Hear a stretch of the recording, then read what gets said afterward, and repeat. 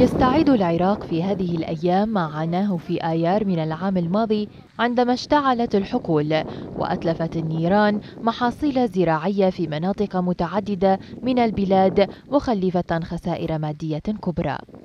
صورة أخرى من صور الإرهاب تؤلم المواطن العراقي لا تقل بشاعة عن صور القتل ومشاهد الدماء البريئة التي تسيل نتيجة إرهاب تنظيم داعش بالتزامن مع عودة نشاطه ألا وهي الحرائق التي تلتهم حقول الحنطة في العراق.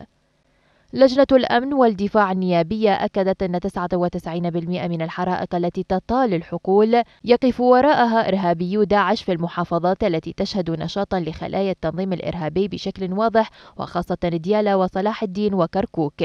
فيما لفتت إلى أن هذه الحرائق هي رسالة داعشية واضحة على رغبته بإعادة سيناريو عام 2014 عندما احتل ثلثي مساحة العراق.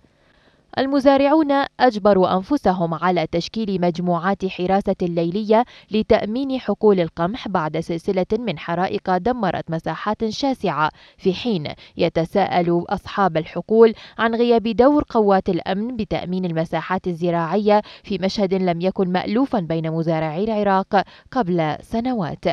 ومع تكرار سيناريو الحرائق بالتزامن مع إغلاق الحدود بسبب أزمة فيروس كورونا وجهود إنعاش القطاع الزراعي بالدفع نحو الاعتماد على الإنتاج المحلي وإعلان الاكتفاء الذاتي يتوارد إلى الأذهان.